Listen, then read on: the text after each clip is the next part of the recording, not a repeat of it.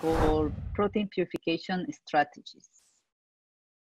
So here I'm presenting you the protein production pipeline.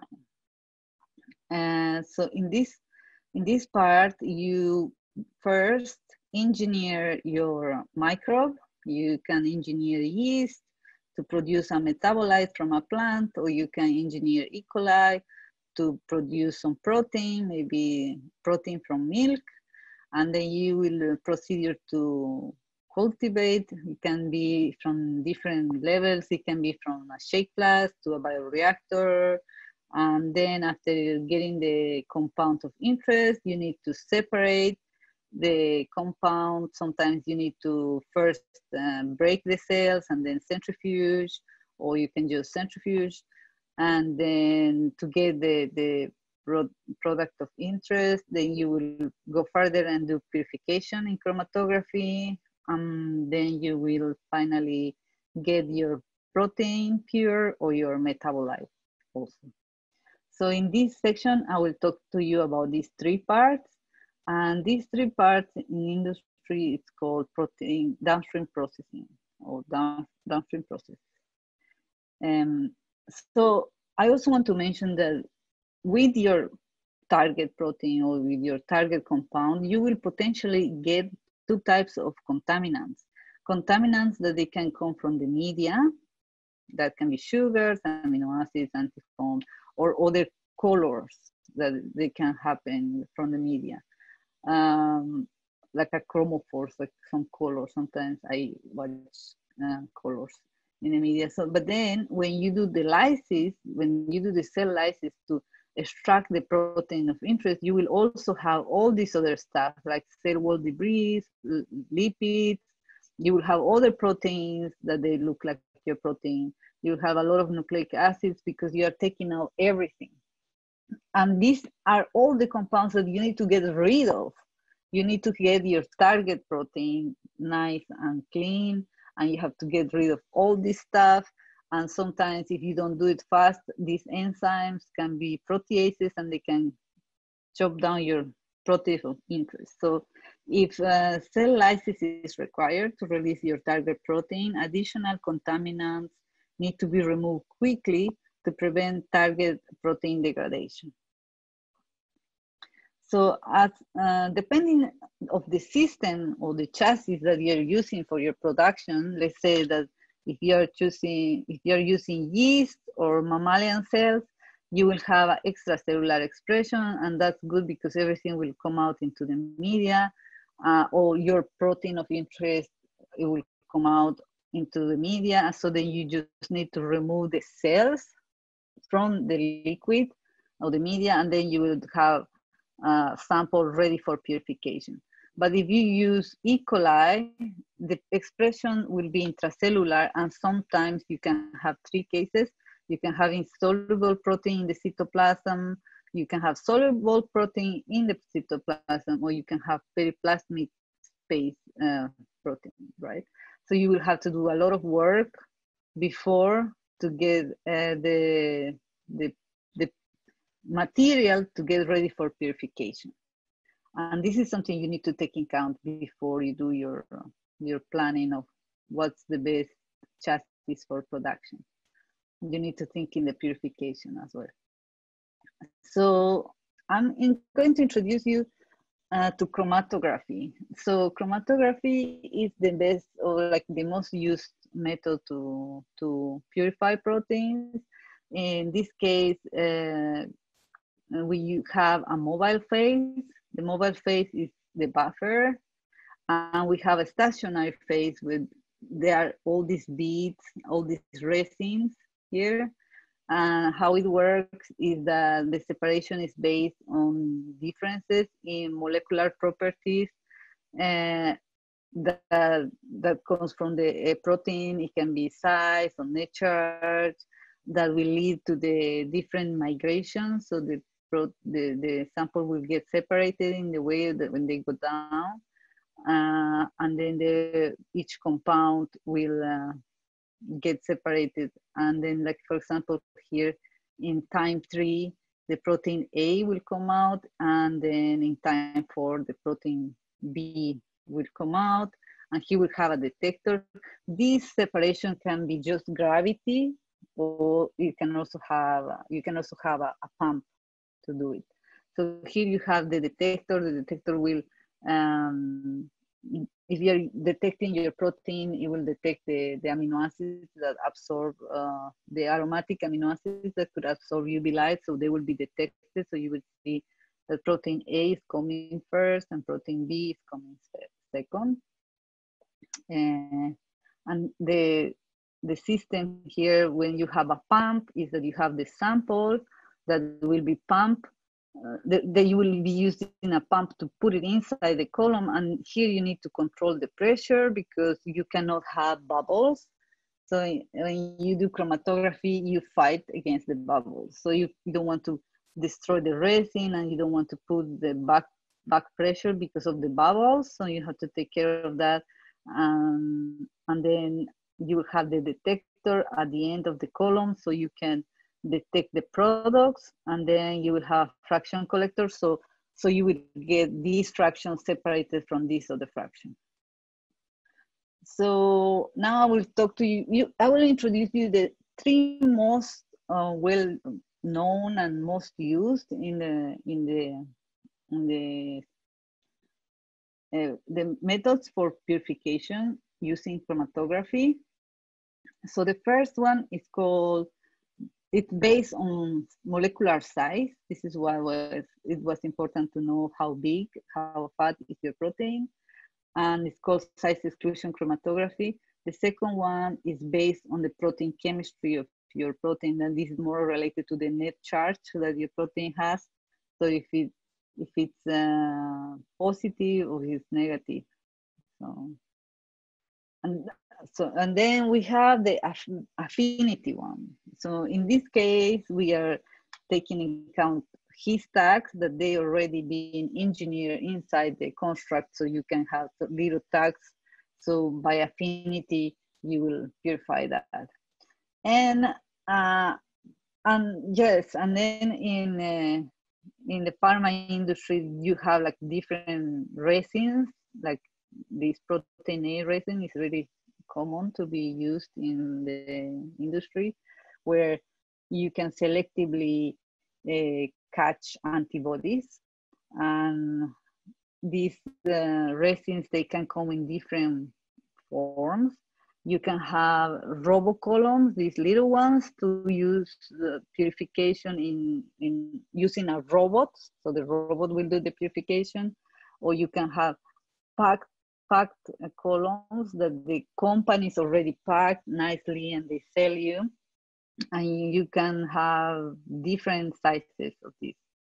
And then you can also have a big bottle of resin where you by yourself pack the column and when you have like a, a little bit more upscale production, you will use this type of resin. So talking about size exclusion, I would let you, I want to tell you that size exclusion works with beads, like these beads, that they are packed into the column and they are made of by a inert spherical porous material. So here you can see the, the, the pores of the material. Each usually it's agarose, but can, there, there's other material. And that minimizes the absorption of the biomolecules because the, this separation is based in size. Uh, so what this means, like uh, here I have three different sizes of molecules. The little ones, they will go inside these pores. So they will take longer time of coming out from the column. But the big ones, they will not fit inside the the porous. So they will just pass through. And uh, you will have the high molecular weight first, and the second, and the third is the, the third one is the smallest um, molecule. And everything comes in one CV. One CV means one column volume. And this uh, separation is like an isocratic elution uh, using one single buffer and we add a wash step here uh, after the after all the, the, proteins are eluted because we want to remove molecules that they could be retained in the column So the protein molecules do not bind to the chromatography bead, which means that the buffer composition does not directly affect the resolution of this process. So here I have a list of different proteins with the, uh, different different molecular uh, sizes. And here I have like a, these are like the recommendations that the the companies that they sell resins they give you like you can have different uh, size of beads. So the resin selection is guided by the size of your protein of interest. And then you need to set the column pressure and flow rate using the resins manufacturer guidelines. Then the sample concentrations adhere to a range uh, specified for the resin. Like let's say if I have a preparative column, I could load more or less 0.5 to 4% of the column column volume. And we need, if we want to optimize the method, we just adjust to the column height or flow rate or buffer composition as well. Uh, and the size exclusion chromatography, it can be used for desalting the buffer exchange at high flow rate using broad short columns. In this case, it's like a, you have your protein, but you want to get rid of the salt. So if you see here, I'm measuring conductivity. So you will see the conductivity of the salt and you will see the UV signal from your protein. And you will have like one CV of that and, and in one CV you would get your protein desalted and that's, that's a nice feature. Okay, so now talking about cation and anion exchange chromatography, uh, we will have a mixture of proteins as well here, like a mixture of protein applied to the column. Then we will have charge-based separation occurs by differential affinities for the exchange resin, as, as I mentioned you, and that, uh, that if it's cation exchange, you will have uh, an a negative charge, and if you have an anion, you will have a positive charge. And resin. So, and then the the way of um, separation will be based in the salt concentration. So if you have here first low salt concentration, and then the the molecules will get separated, but then you will go up to high salt concentration to to to fight like it will deattach the the stronger the proteins they will bind stronger to the to the resin and the high salt elution will help them to get out of the column so the chromatography shows the separation here. Like you see the low salt protein comes first and then the middle and then the the high salt concentration so the, in this in this chromatography there is also there's always these steps. The first of equilibration, so you need to equilibrate your resin with the right buffer. You load the sample, you wash the unbound undesired proteins, and then you elute your protein of interest, and you always have to recalibrate your column, and then you storage the column because you reuse, you have to reuse many times. If you are nice and take care of your column, you will reuse your column many, many times. So here I'm showing you two types of resin from Bio-Rad, and it's, it's a resin for like a for anion exchange is called Nubia Q. So here is the positive uh, uh, hydro is the positive ligand and the anion and, and the cation exchange you will have a negative. And these beads, these beads are polymers that they are hydrophilic and they are bound to these ligands. So these ligands are giving the charge. And the average particle size is between 50 to 85 micro, micrometer microns and supports the pressure of uh, um, high pressures and can go flow rates like 500 centimeter per hour. And resins are stable at different ranges of pH and salt tolerance. And this is really, really important because you need to have this really clear. So let's your if you identify that the pi of your proteins is at this this pH, then you need to identify what's the stable the, the stable range of your protein. Let's say that is from here to here. So then you need to choose, uh, in this case, uh, anion exchange uh, chromatography, because your protein will be, mm, oh, sorry, your protein will be in this range positively charged. So then you need to choose this, this resin. So that's the trick. You need to find what what's the net charge of your protein and which is the resin that needs to match. And this is the reason why these beads, they need to support a wide range of pHs because you will play around with different, uh, and they need to be stable at different pHs and they need to support salt because you will have high salt and this is why these beads are engineered. And and these beads every time they are getting more and more fancy so they have you have really really a big variety of providers with really cool new type of resins you will you will always be happy to go and buy new type of resins so the method development for this technique, it begins doing a gradient elution followed by a step elution to find the best condition where the protein binds best to achieve the high yield. So at the beginning, you don't know how your protein will behave. So you need to mm, in, run the calibration and then inject the, the sample and then go up in salt concentration gradually. And this is called gradient elution. So here you will have like proteins that they will not bind so far, so strong, so they will come out first.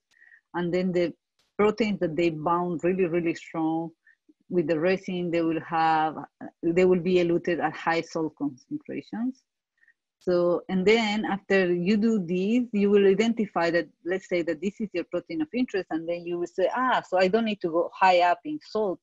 So then you can go just um, five CVs to get rid of the unbound um, proteins, and then you will identify that at 10 CVs, your your your protein of interest is coming. So then you will choose that by default. Then you will like narrowing down your your range of salt concentration and ideally you should have an idea of how good is how how good is the binding capacity of your protein to the resin and for that you need to have these uh, studies like where you have salt concentration and ph and then you will know exactly that 95% of your protein or it's really well bound to the resin at this pH and this salt concentration.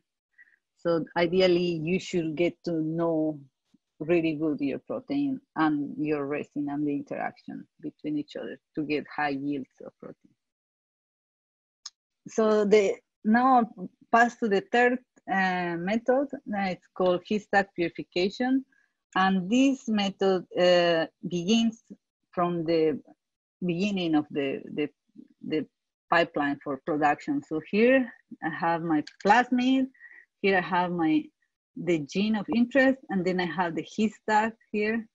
I have six histidine um, amino acids together, and they could be at the C terminal or they could be at the N terminal because they need to be easily hanging to get uh, accessible uh, bind to the metal ion and yes, with minimal effect on the protein folding. So here you will see, this is the his, the his tag, the polyhistidine tag that is uh, binding to the nickel, the, the metal. This technique is also called immobilized metal ion chromatography uh, because you can use different metals to, to do this uh, separation. And uh, also recently you can use these beads made of, uh, it could be magnetic beads. So you can just mm, catch your protein like that with a magnetic bead. so cool. So it's kind of uh, the same thing. It's like uh, equilibration, then on the sample application, then you will wash the unbound proteins and other material, and then you will elute with um, with imidazole because this time imidazole will compete for the interaction with histidine, and we, it will it will strip all the all the protein out from the column, and then you will come back to do re-equilibration.